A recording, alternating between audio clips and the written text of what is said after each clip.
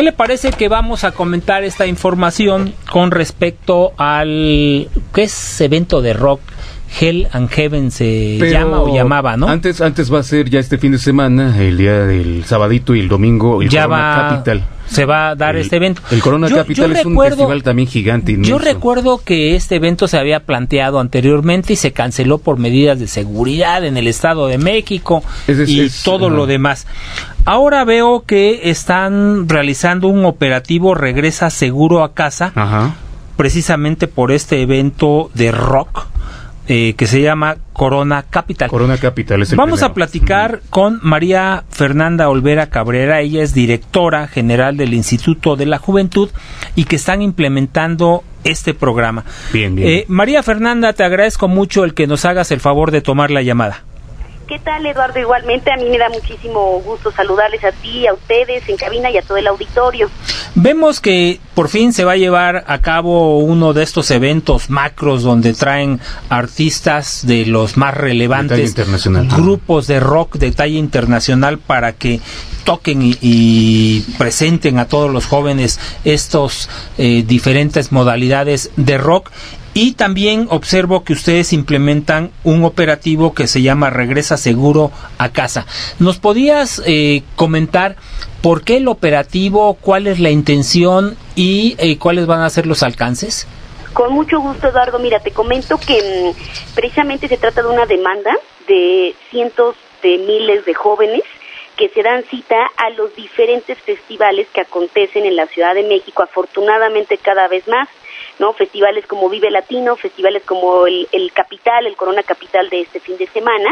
Em, entonces, desde el año pasado, con esta nueva administración del doctor Mancera, fue que atendimos este llamado de los jóvenes porque em, la salida de estos festivales suele ser caótica principalmente porque em, eh, después de las 12 de la noche ya no opera el sistema de transporte metro, y bueno, se convierte realmente, puede ser una pesadilla el regreso seguro a casa de muchos de los asistentes eh, o pueden terminar pagando muchísimo más, casi 100 veces la tarifa ordinaria de cualquier medio de transporte, llámese taxi o algún otro medio de transporte concesionado.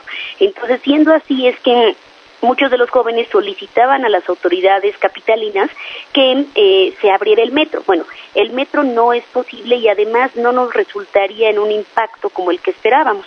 Fue así que decidimos em, establecer el programa Regreso Seguro a Casa a través de la red de transporte de pasajeros, de los RTP.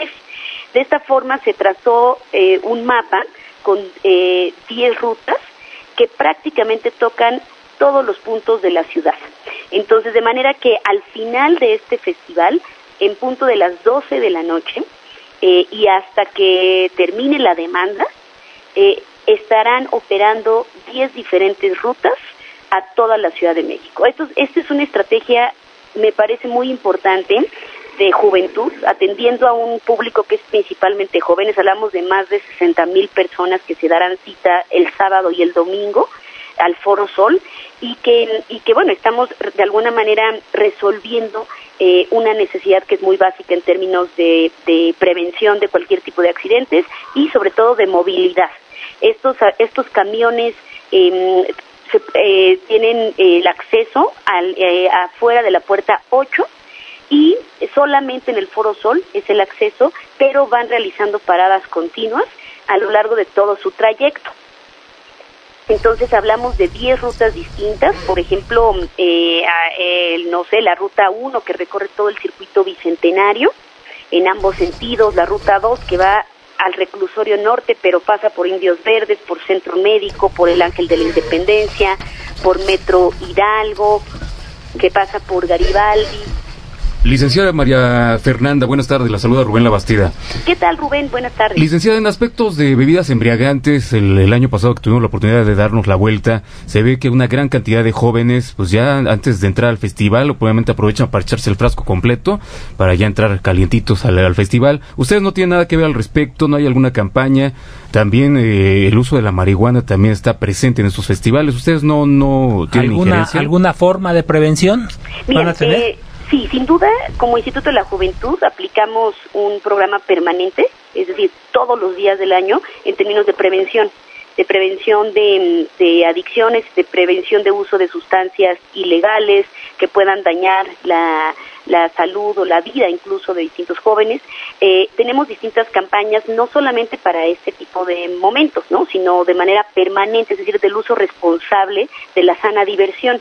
Dentro de del festival nosotros no operamos, es un festival privado.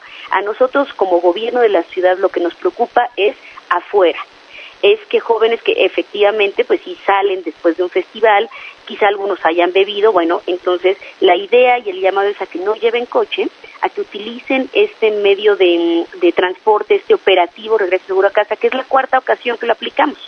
Y en las tres eh, ocasiones pasadas, que fue durante dos Vives Latinos y durante un festival eh, capital el año pasado, fue exitosísimo, tanto así que ya se convirtió en, en parte del festival. Ya en redes sociales, muchos jóvenes en medios, ya se difundió esta noticia y entonces eh, pues lo que queremos es que eh, no hay no lleven coche. Licenciada, la saluda Ivonne Romero.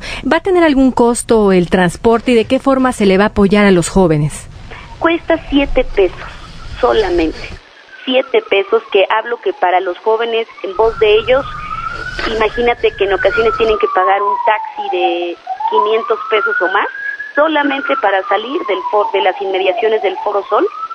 Eh, en este caso, con 7 pesos, a la mayoría de los jóvenes los dejan a cuadras de su casa. Que vendría siendo lo, lo del nochebús, ¿no? Siete pesitos, pero con un servicio de adeveras, ¿no? Como en el metro, ¿no? De que a veces ahí en el metro tiene que llegar uno con remos y paraguas y, paraguas y toda la cosa. Eh, María Fernanda Olvera Cabrera, tú como directora general del Instituto de la Juventud, dinos, asistencia, cuánta gente esperan que vaya eh, y qué mensaje le darías eh, rápidamente a las personas que van a ir. Pues mira, en primer lugar, que yo no tengo exactamente los datos porque no somos los organizadores del festival, sin embargo, de acuerdo a, otros años anteriores, van más de 60 mil personas. Ok. y, pues, la recomendación que sería que lleguen con mucha prudencia, ¿no? Que se diviertan y que se la pasen muy padre. Totalmente. Principalmente que disfruten de este tipo de festivales de talla mundial. Internacional. Bueno, pues te agradezco muchísimo el que nos hayas tomado la llamada y nos des esta información.